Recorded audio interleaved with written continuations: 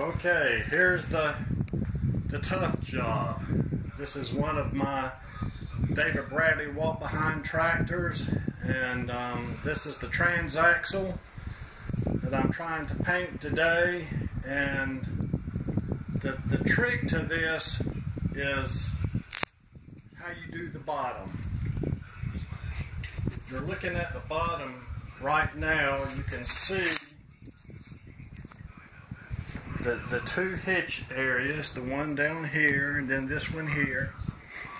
When you have it laying on its back like it is now, and you can get all underneath here, then um, this is all the hard places.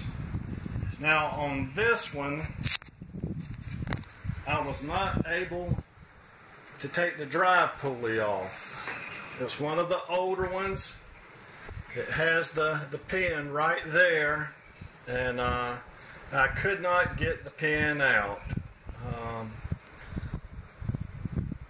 I, I, tried every kind of lubricant. I even mixed the um, transmission fluid and uh, acetone that I saw somebody do. And uh, I worked a week soaking and re-soaking and hammering and soaking again and uh, if it moved any I couldn't tell it. And then I tried heating it up uh, three or four times and hammering it out and it just would not budge. And uh, so it got to the place that I was afraid I was going to do damage.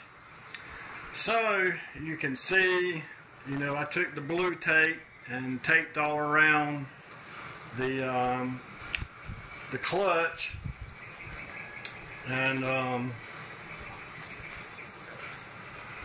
it's doing okay. Um, the trick now is to paint at an angle that you can get all of these hard in between um, places. The uh, the clutch was stuck. It took me a while working with it, and uh, following Dan O'Connor's advice about spraying some uh, some lubricant in there, and uh, but finally it came came loose.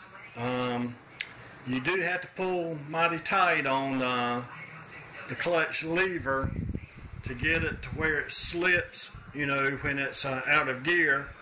But it is um, it is loose. So um, I do have the, the frame over there that I still have to, um, see it laying there, and um, after I get finished with the transaxle, then um, I'll be priming it and um, painting it. This is um, the International Harvester Red.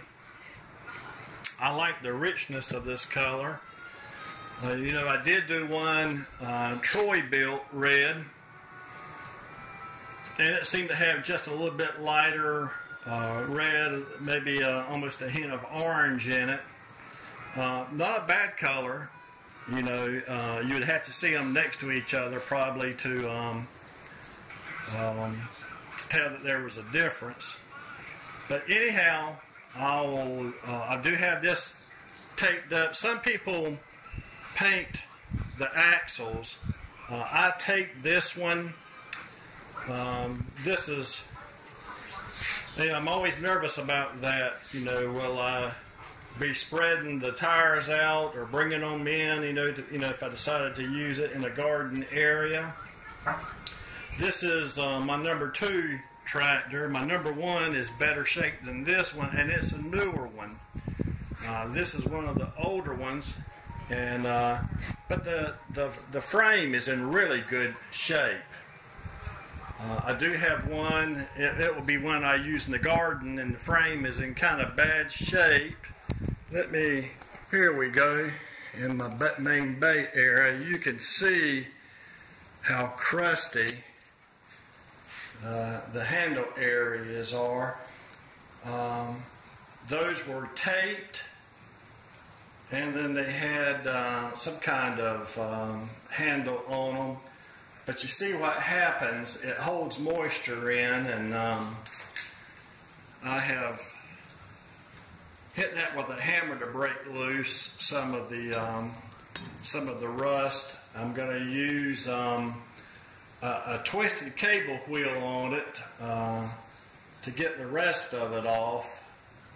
And then I'm going to buy the handles and see if the handles go on easy, uh, maybe too easy. Um, I'll probably prime it, you know, and try it. And um, if there's not enough girth around this to hold the handles, I might um,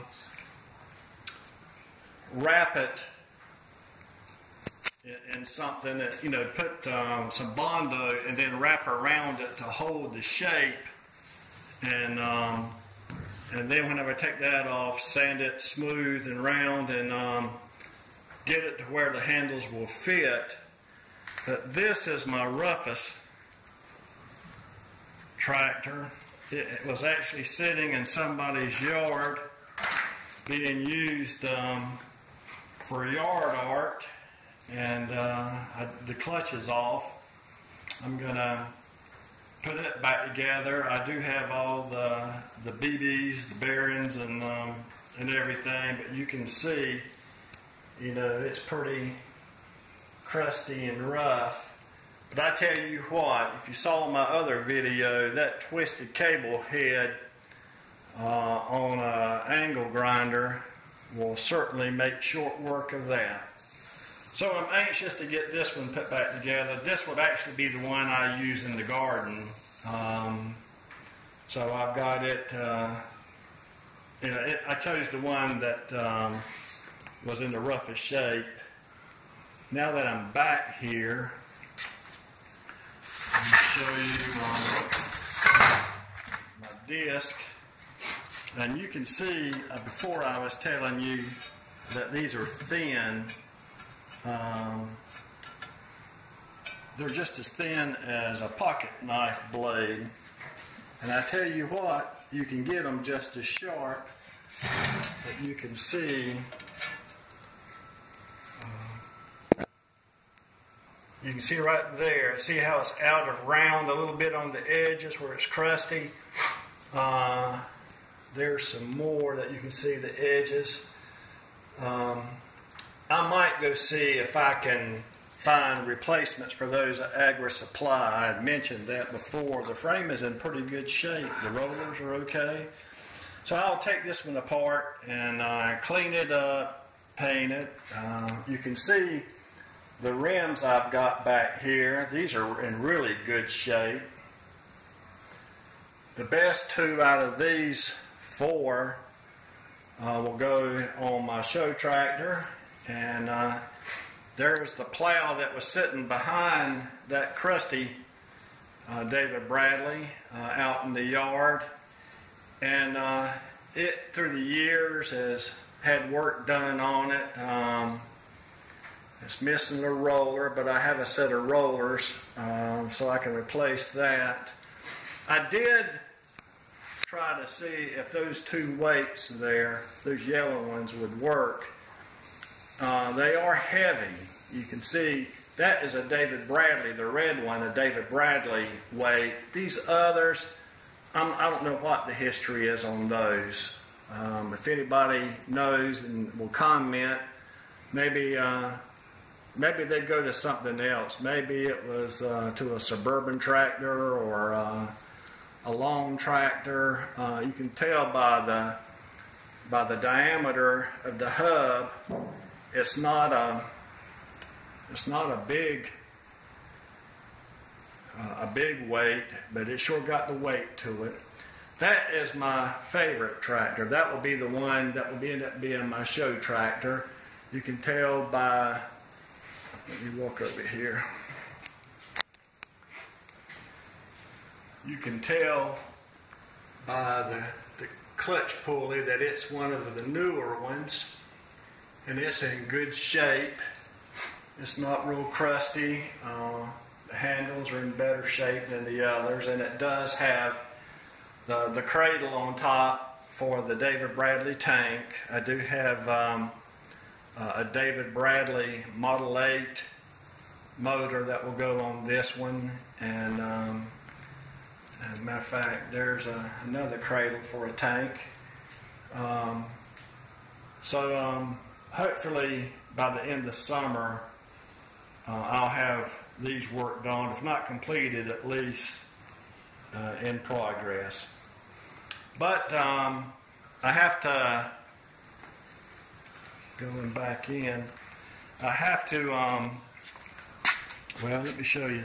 I showed you, this will be the rim and the tire that will be going on this one that I'm working on now. They were in rough shape and uh, so they'll go on this one. And just as soon as it dries, being painted on this side, then I will flip it over and paint the other side, the underneath. And um, then I'll do the same thing with clear coat and put it together and I'll show y'all. The, uh, the hood that had been cut let me go ahead and show you.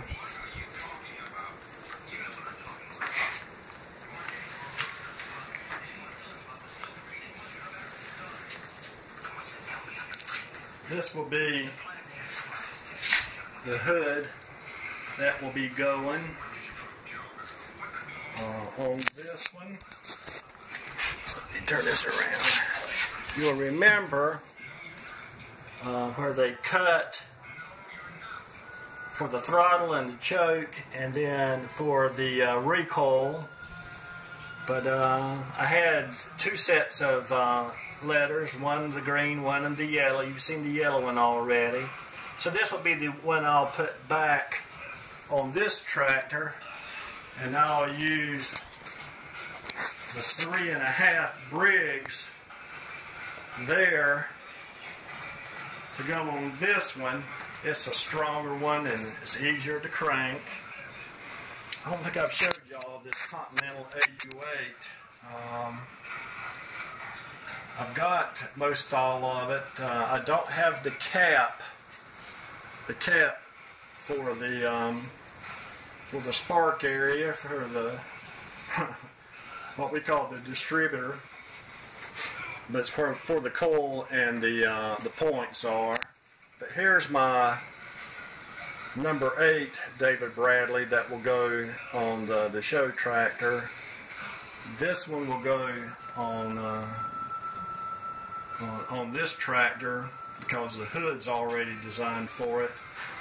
And uh, my garden tractor, I don't know. I've got a, a Model 6 Briggs from the early 1950s, but of course, these aren't going to be real powerful motors. Um, so I don't know. I might get, uh, I might do like uh, Tracy, the farm alarm did, and uh, take a, a Predator engine because they sit at the 45 degree angle and uh, and put it on one. I thought that was ingenious on, on his part uh, to think that through.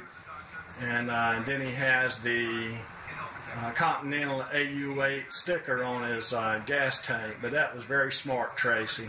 Uh, I like that kind of ingenuity. Okay, well.